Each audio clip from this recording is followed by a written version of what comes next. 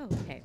I also wanted to thank Stephen, our editor, for giving me this opportunity and the entire LPR staff for all their support and hard work.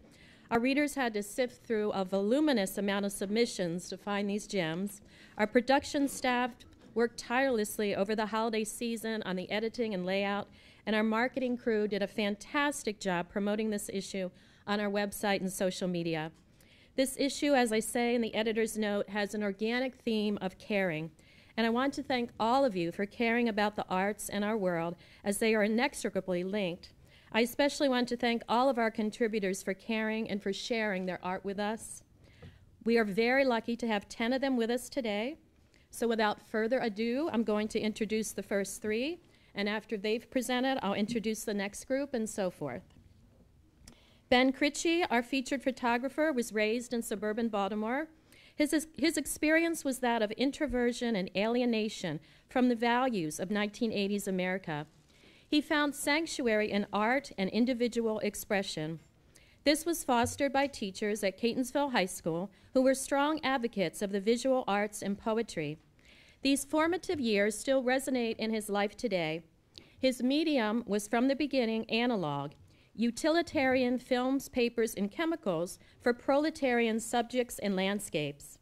The analog remains in his process now, just for the first steps. He shoots the film and processes it by hand.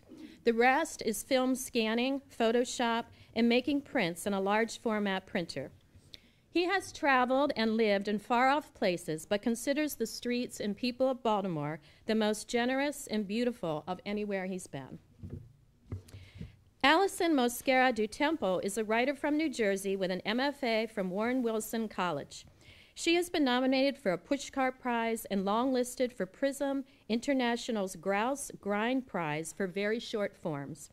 Her work has appeared or is forthcoming in Pithead Chapel, Flock, Construction, Pigeon Pages, Fiction Writers Review, Emrys Journal Online, and elsewhere. She's a fiction reader for Craft Literary and on Twitter at Swell Spoken. Oops, had that on the wrong page there. Susan Okie is a poet, physician, and former Washington Post medical reporter.